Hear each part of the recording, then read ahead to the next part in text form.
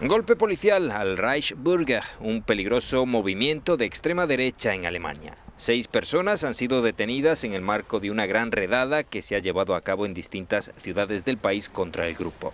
Las autoridades creen que estaban planeando atentados antisemitas contra agentes de policía y contra peticionarios de asilo.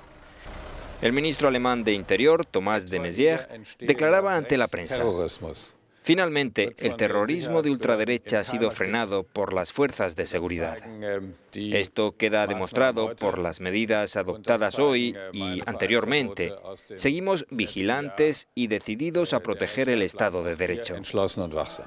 La redada ha coincidido con la alerta lanzada por el diario Tagesspiegel, que afirma que hay 23.000 personas fichadas por su ideología ultraderechista y que más de la mitad está dispuesta a emplear la violencia.